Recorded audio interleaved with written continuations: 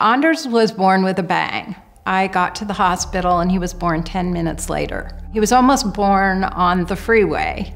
So we knew he was special from the beginning. He was kind of a serious child, but he had a really dry sense of humor. He was just a funny kid. When he was a sophomore, he decided that he wanted to graduate from high school early and go to high school in Japan.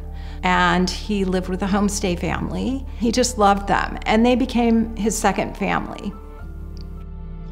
Kelly and Anders were amazing brother and sister. They were pals. They did everything together. It was a really special relationship. She seemed really healthy up to 15 months. All of a sudden, she got very, very sick. The doctors told us there were milestones for her kidney function, and it would be three years, five years, 12 years. And she did really, really well. But when she hit 30, her kidneys started to go downhill. She was looking for a donor and she figured that if she was on the waiting list, she would have to wait five to seven years. Anders immediately wanted to do it. After the surgery, the doctor called me and said, you know, it went really well. He woke up the next morning very early and he went to see Kelly and he told her at that time that that was the best day of his life and um, that he really loved her. A couple hours later, he was in a lot of pain. He went from being on fentanyl um, to being on Dilaudid.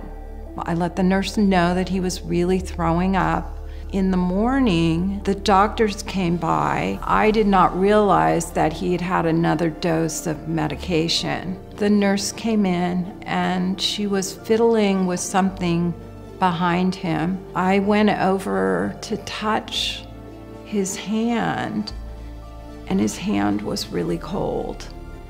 And I looked at his face and took off his glasses and his face was yellow and his lips were blue and I knew he wasn't breathing.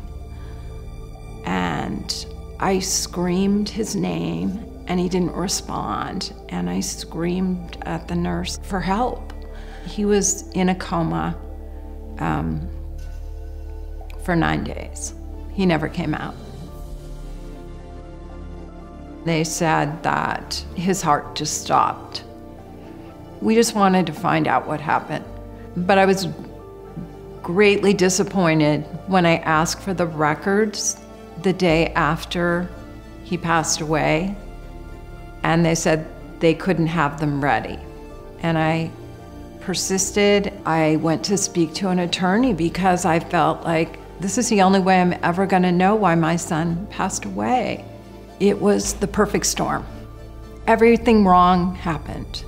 From them not reporting that he was vomiting, to not checking in on him enough, to overdosing him.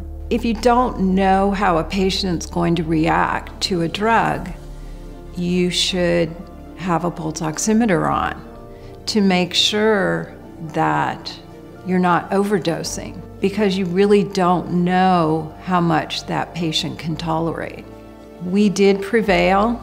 I won't call it a win, but um, the judge ruled in our favor. I think it sent a message. It's totally on the system. I mean, we're all human.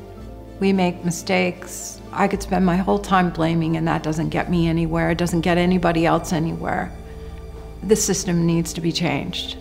If people know that they need a pulse oximeter, how many lives could be saved? And it's just making people aware that something so simple could save people's lives. Part of the reason why I'm willing to do this is for him. Because he needs a voice, and I'm his voice. when we found the truth, I felt that his voice had been heard.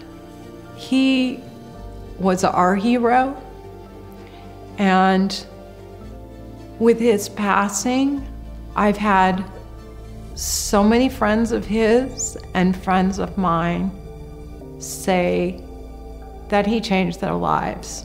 Giving his sister a gift was so amazing. She's great.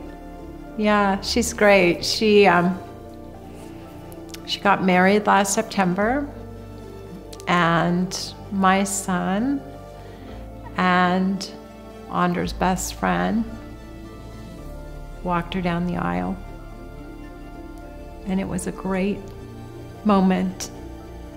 And after the ceremony, there was a double rainbow. And a double rainbow for us is just a sign of love and someone's watching down on her.